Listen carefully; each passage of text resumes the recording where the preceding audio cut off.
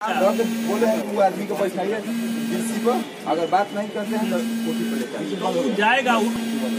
हाँ, तो बंद हो गया तो मेरे साथ सर्कल से मिलना है तो सर्कल साथ सर जाएगा आप अपना गाड़ी से आइए हम क्या दिक्कत है? आप मेरे ही गाड़ी पीछे चलिए या मेरे गाड़ी में बैठिए क्या दिक्कत है इसमें? इसमें तो कोई दिक्कत इसमें तो कोई दिक्कत नहीं है।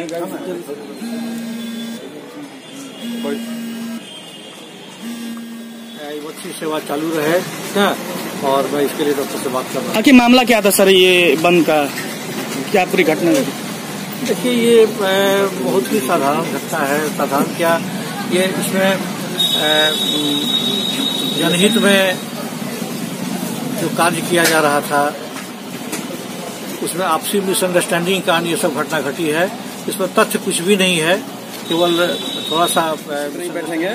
तो आपको आवाज़ से बुलाया गया। क्या आपको हिरासत में लिया गया? क्या हाँ हिरासत में लिया गया मुझको। दोनों कांस्टेबल ने मुझे हिरासत में लेकर के कांस्टेबल ने लेकर के हमको डीएम के आवास में ले, जा, ले जाया जा रहा है। वजह क्या है आपको वजह यह है की? डीएम वीडियो कॉन्फ्रेंसिंग अटेंडेंस डॉक्टरों के लिए इन्होंने मजबूर किया है। डॉक्टरों को कह रहे हैं कि वीडियो कॉन्फ्रेंसिंग अपना अटेंडेंस दीजिए।